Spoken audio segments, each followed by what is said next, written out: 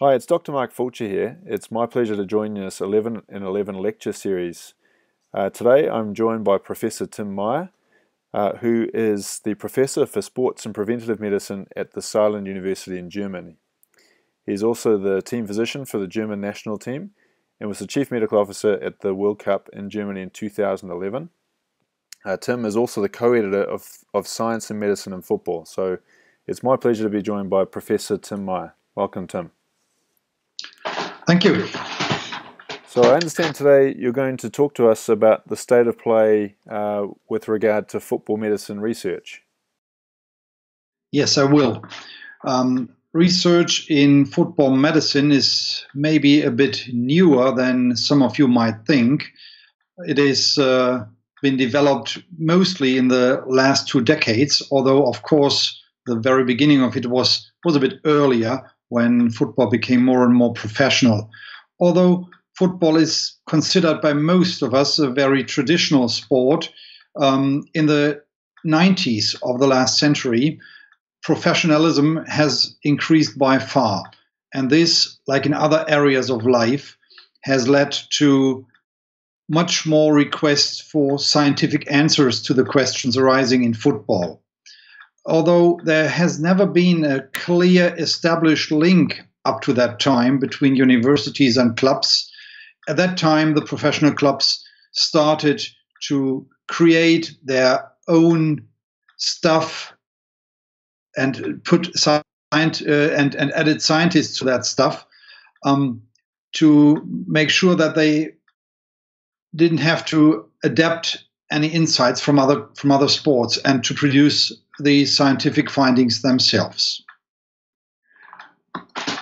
In football medicine, the first publications that we could see even as early as in the 80s and in the early 90s of last century were about the basic physiology of football. So how football works, what the bo- how the body functions during match and training.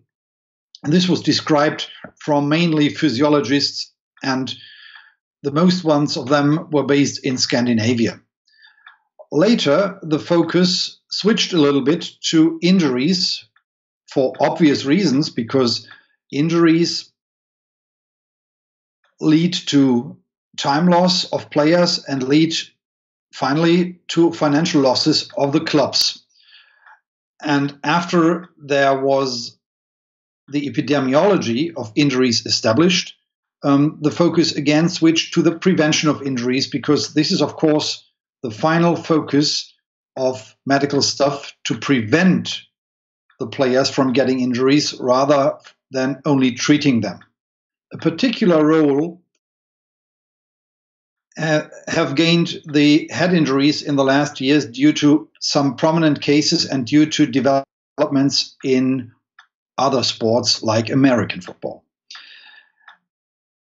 The fatal case of Marc-Vivien Foé during the Confederations Cup 2003 has led the attention to the possibility that even elite athletes can suffer from sudden cardiac death. And a lot of efforts have been started to prevent that, not only in terms of pre competition medical assessments, but also in terms of epidemiology.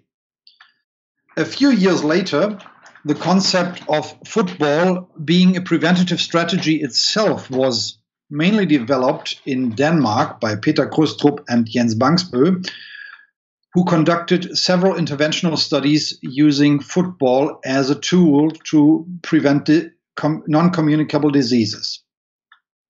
The next step in football research, at least from a time perspective, was the use of newly arising technologies like GPS and the opportunities arising from these technologies were to measure distances run by the players as well as speed, acceleration, and deceleration, and get some inter- in some closer insights into the physical requirements of real football match play.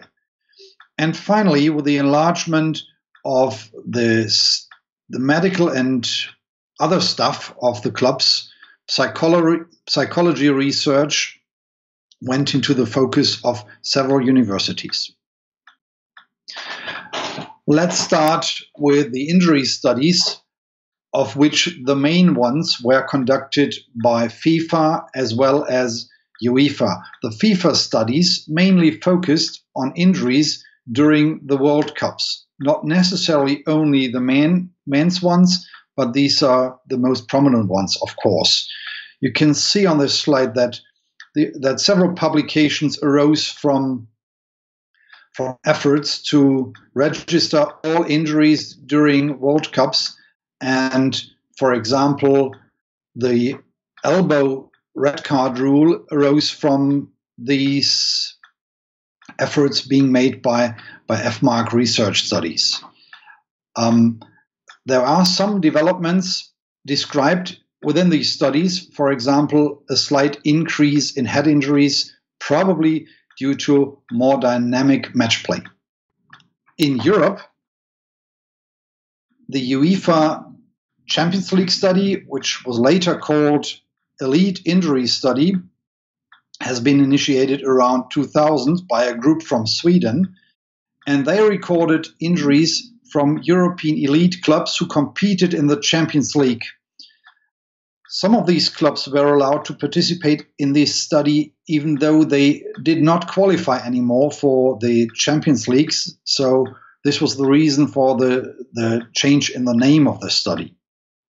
Probably this is the largest ongoing study worldwide with the largest number of injuries registered and the most consequent procedures being used. For example, with this approach, it was possible to observe tendencies over the years in the European elite clubs and to show that, for example, hamstring injuries increased by a relevant amount from year to year. And this, of course, led to a lot of efforts to prevent them and to develop strategies to do that. Both of these study groups, FIFA and UEFA, came together to formulate a consensus statement on injury definitions in 2006. This was necessary because up to that point of time, some injuries were reported just as a frequency or with other numbers. So um, the group led by Colin Fuller developed some standards for reporting. One of it, of course, refers to injury severity. Severity, since then, is mainly described by the so called time loss. That is, the number of days that a player is away from full training and competition due to an injury. Also, the term exposure was adapted to football epidemiology research. Um, there is a difference between max match exposure, that's the time a player participates in a match, and training exposure, which of course is the, the time during team training or individual training that a player takes part in. Both of these terms from that point of time were almost consequently used to describe injuries in football.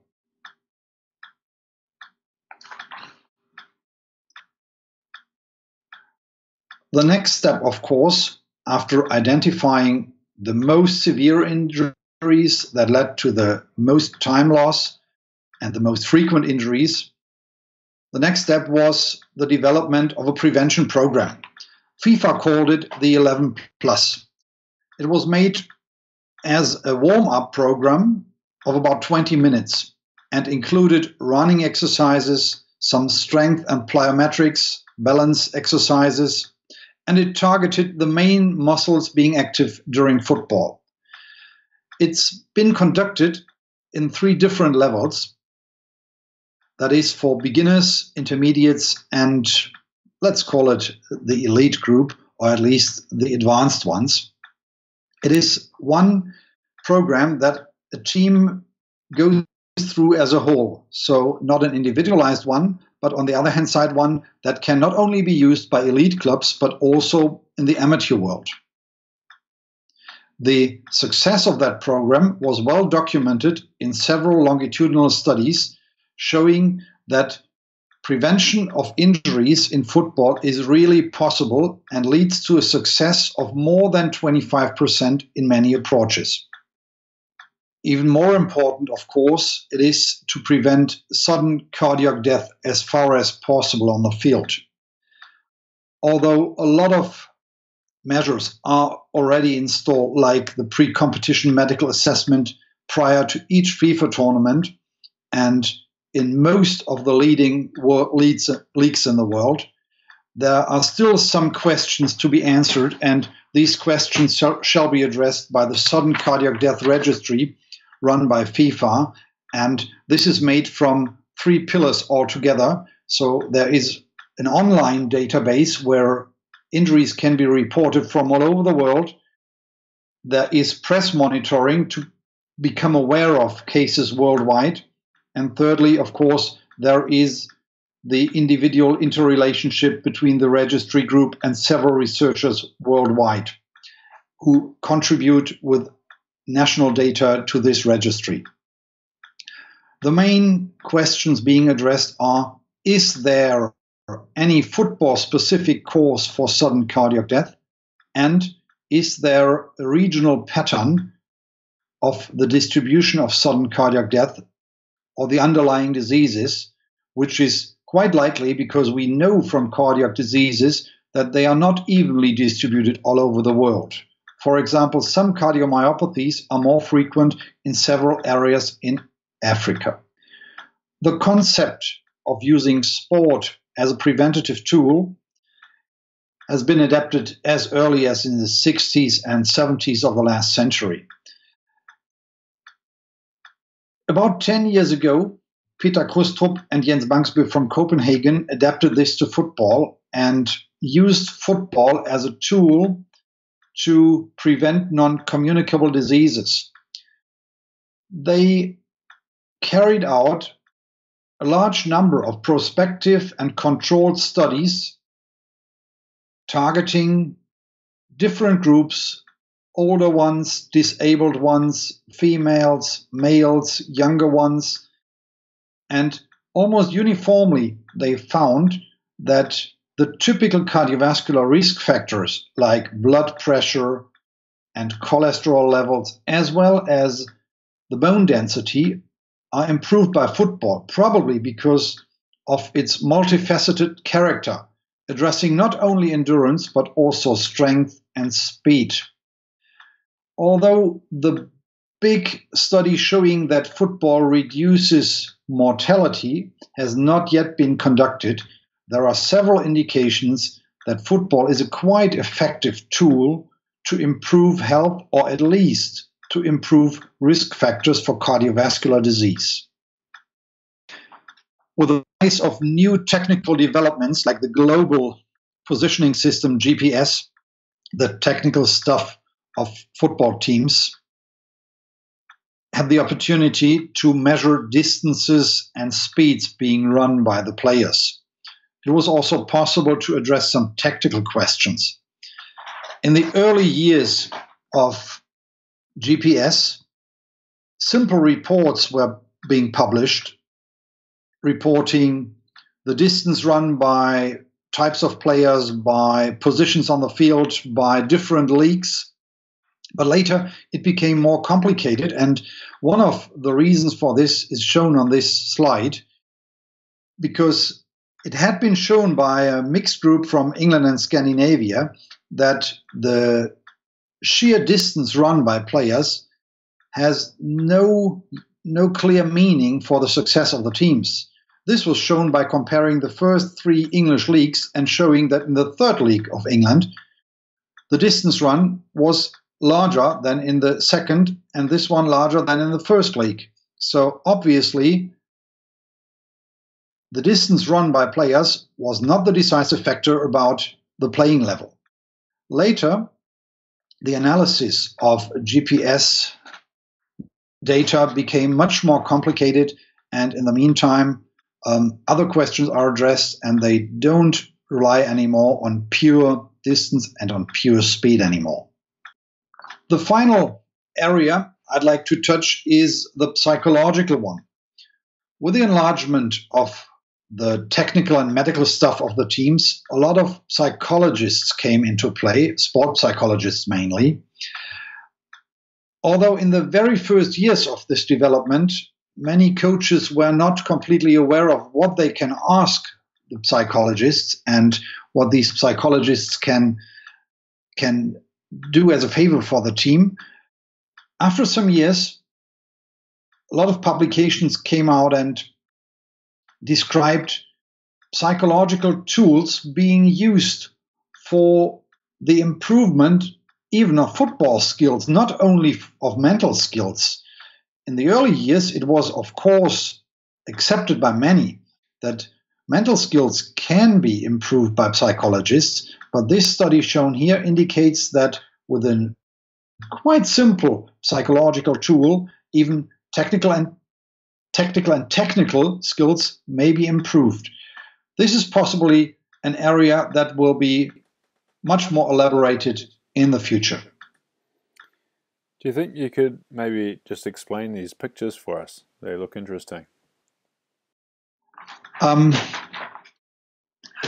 these these pictures on the left hand side of the screen um, indicate a psychological task for the players, and some of these points have to be connected with each other in certain patterns, and um, exercising this obviously leads to some improvement in football skills, shown on the red on the right hand side, where um, the passing skills were tested and they were only improved by uh, doing this psychological tool and not by the control condition.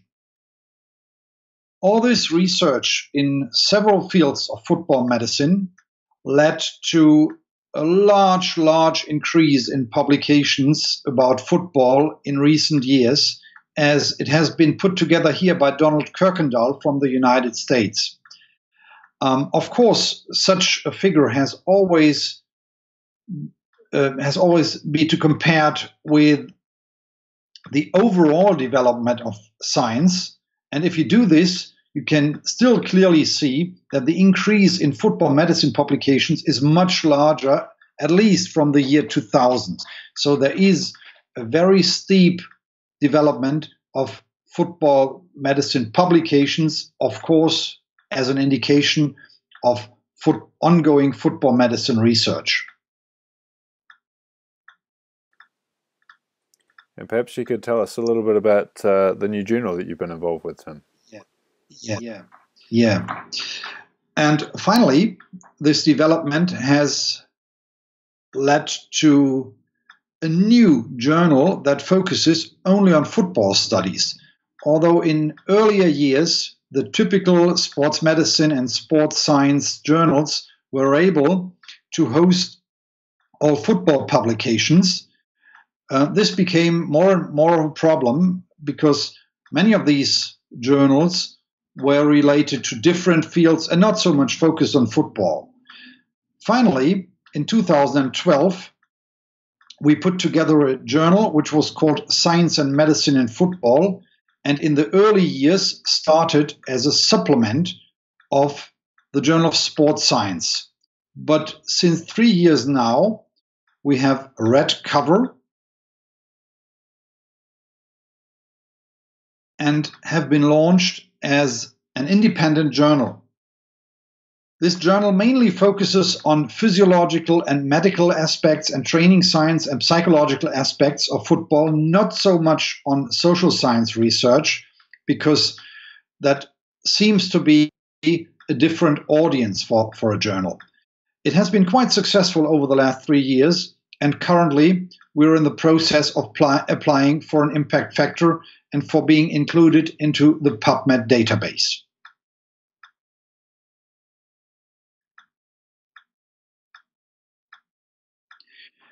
Altogether, we have seen much development in football medicine research over the recent years, but nevertheless, there is still a big gap between what's been realized and what could be realized based on the available money in the world of football. The biggest problem seems to be the access to elite clubs and players because there's still skepticism around. Although, from my experience, I can clearly say that besides the pure investigation or study itself, there is a lot of benefit that goes from the researchers to the clubs during the conduction of a study. Nevertheless, we need long term funding opportunities being established and possibly a closer interaction between universities and clubs might be such an opportunity. In some countries, we can see quite successful embedded scientists, meaning that they work partly for the university and partly for a club for the benefit of both. And altogether, this is a cheap solution for both sides. A good example for football medicine working well in the education of doctors is the FIFA Medical Network as well as the Football Doctor Education Program from UEFA. Both of these approaches have the target to educate physicians to know more about the football specific problems that they are faced with when they when they work for a professional club or even an, a lower league club. We hope that such approaches, together with the scientific background of it, will help making the football of football medicine, the future of football medicine, even better. Look, fantastic, Tim. Uh, thank you very much for your time. Um, we really appreciate the opportunity to, to hear from uh, football medicine experts from around the world. So, uh, thank you very much.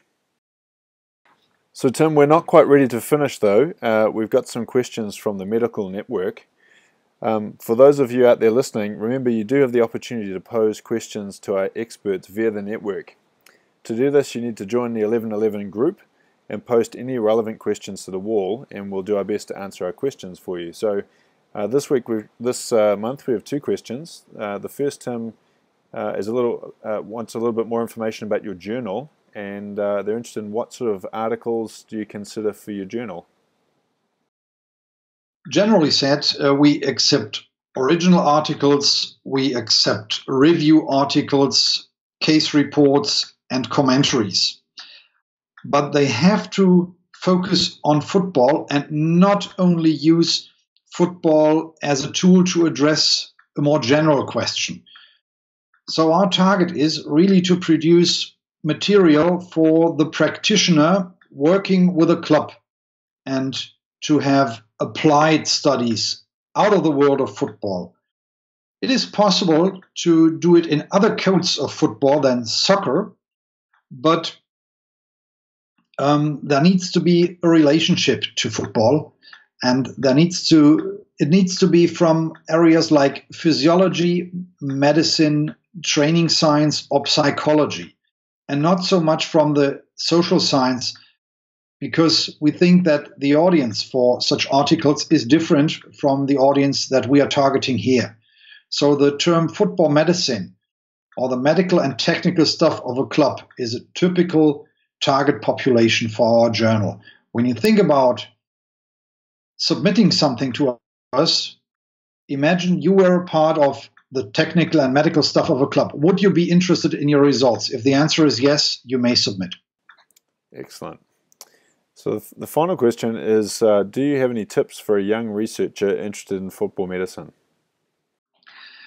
Well, not so easy to answer that question. Of course, as a first step, you need um, a scientific background. So, usually, if you really want to do football medicine, you have to become a physician and study medicine.